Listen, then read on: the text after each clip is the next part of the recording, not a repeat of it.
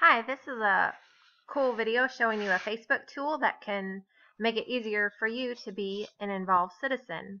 So on the left hand side of your screen, you'll see all the Facebook tools. So if you keep scrolling down under Explore, sometimes you have to say see more under Explore, but here's your Explore. And then keep scrolling down and you will see a little town hall. It looks like a little um, town hall with pillars out front click on that and it will ask you to enter your address. And once you enter your address, then, and you can type in just your city if you don't want your whole address in Facebook, but um, it will give you your representatives at the state and federal level and sometimes even a city level. And so you can follow the officials that you want to follow. You can scroll down and see all the federal officials. Um, and then there's some more tools here on the right.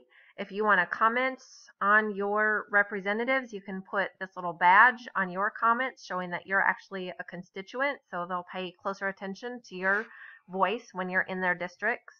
Um, you can get town hall updates so that will, they will show up in your news feed what they're saying. You can also just go over to the updates and see what your representatives are doing and be an involved citizen. Hope this helps.